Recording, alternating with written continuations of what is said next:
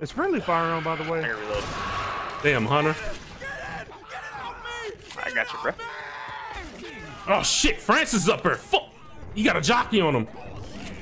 Oh, he done. He gone, bro. He gone, cuz.